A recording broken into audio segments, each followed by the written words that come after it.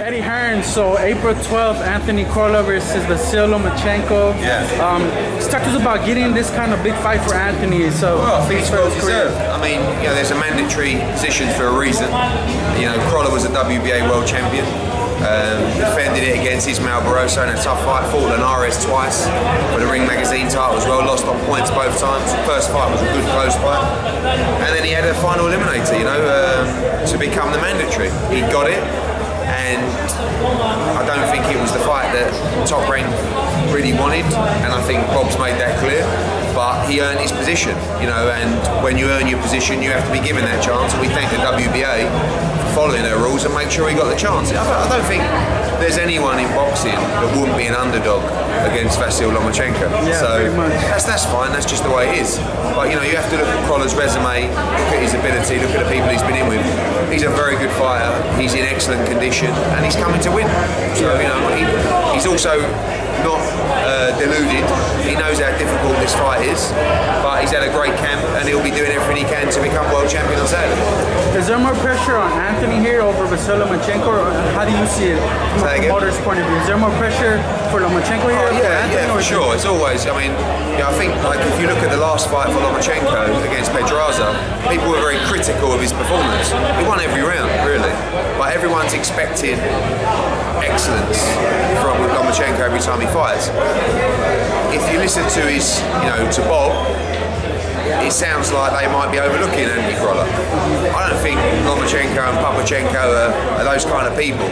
Um, so I expect the best Lomachenko on, Friday night. I, you know, I, I think that uh, there's always pressure on him. Uh, there's no pressure on Crolla at all. You know, everyone's writing him off. No one's giving him a chance, so he can go in, and that makes him more determined. He's a very determined individual.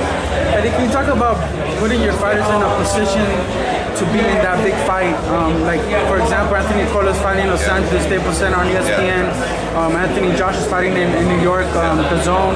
Just talk to us about being able to maneuver those pieces and, and putting your fighters in a position to have that kind of fight. Sure, well listen, boxing's a game of snakes and ladders. So you've got to make sure that you move the fighters in the right way. Everyone's a different scenario. When you look at Joshua, he's the number one heavyweight in the world. It's a, it's a bit easier to manoeuvre him, but really there's no manoeuvring with him. It's just he wants to fight everybody. With Lomachenko, it was more about sorry, with Crolla, it was more about getting him back in a position to fight for a world title. The biggest fight out there for him was Lomachenko. So we had to work our way up the WBA rankings, get a final eliminator shot. Once he got that, he won it. He become mandatory, and then you know the rest was from there all about making sure that we got it quickly. You know, sometimes you can sit in a mandatory position for a year, and it can disrupt your career. Luckily, the WBA stuck to their word, and you know they gave him the opportunity. He's, he's a former WBA world champion, and it's a good fight for, for Lomachenko. You know, it's a very credible defence. Um, and uh, yeah, you know, part of the game is making sure that you have a plan for every individual person that you represent. And it doesn't matter if they're making their debut or if they're the unified heavyweight champion of the world. And we have that with every one of our guys. And the two that you mentioned are great examples of how we're moving fighters in a perfect way. Yeah. Can you talk about the um, Anthony Joshua card? Looks like it's getting stacked by the day. Um, I'm hearing that Callum Smith might end up on the card. Yeah, he's here actually, uh, somewhere. Yeah, not not here yet, but he's in LA. Um, he'll be uh, looking to fight on the Joshua card. We're also trying to make the undisputed female fight, which is Katie Taylor and Delphine Persoon. Uh, two of our young, big, big prospects in uh, Joshua Buatsi and also Josh Kelly could be on that card as well. So we're looking to announce the card in the next sort of week or so, and looking forward to Joshua's professional debut. You know, when we announced that fight, when you remember the situation, it was Wilder's fighting Fury, and Joshua's trying to fight Wilder, and you know he's fighting Miller, which is a good fight, but not really the one we fight. Fast forward a month, it's the best heavyweight fight of the year. You know, you got Fury against Schwarz, and you got uh, Wilder against Breazeale.